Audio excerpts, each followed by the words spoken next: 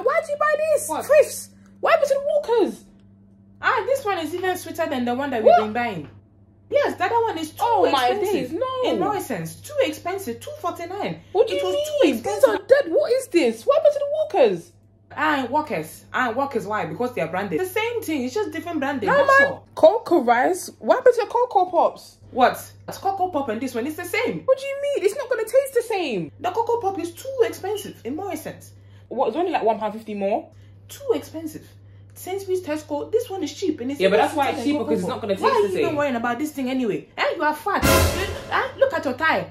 Look at your face. Eh? Look at you. You are fat. You shouldn't even be thinking about Coco Pop. Don't even worry yourself. You are not going to have any anyway. How dare you even think about snacking? How dare you even come and question me that you're even lucky that I've even brought snacks in this house when somebody looks like you? Eh? Look at you. And you want to think about Coco Pop. Eh? Look at your stomach. And you want to be worrying about snack and Coco Pop. You shouldn't even be thinking about Coco Pops. If I were you, I wouldn't even think about Coco Pops. If I were you, I'd be scared. How dare you? Are you not scared to think about Coco Pops? Are, are you not frightened?